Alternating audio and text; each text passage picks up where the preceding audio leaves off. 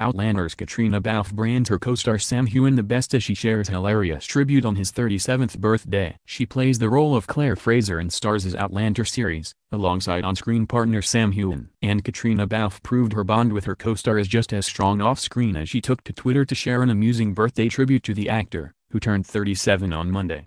In one hilarious tweet, the Irish actress, 38, penned, Twitter just asked what's happening. And I can safely say I have no idea. Happy birthday our kid at Sam Heughan. The Super 8 star also shared a hilarious behind-the-scenes snap from their show, which showed the Doctor's actor sticking his tongue out at an amused Caitriona. The model also posted a meme of the Island at War actor, who joined thousands to run the 26-mile Stirling Marathon on Sunday. In the snap, the screen star sported a sweaty look, edited with the speech bubble, I like getting my nails done. Alongside the meme, Caitriona penned, who the best? Always pamper yourself on your birthday. Especially if you've just crushed a marathon. As Sam Heughan hashtag I promise to now. Sam, who completed the race in 3 hours and 15 minutes, helped to raise £16,000 for Cahonas Scotland. They pair been hard at work shooting season 4 of their critically acclaimed show for the past few months after a gripping series 3 finale.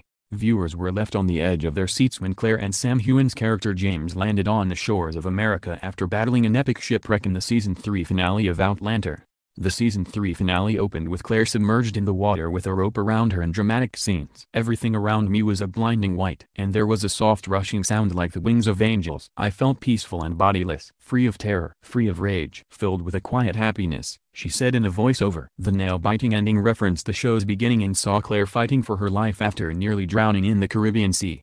But before it is too late James then jumped in and rescued her, with the pair then both washing up on a beach. Season 4 is an adaptation of the fourth book in Diana Gabaldon's series of novels, Drums of Autumn.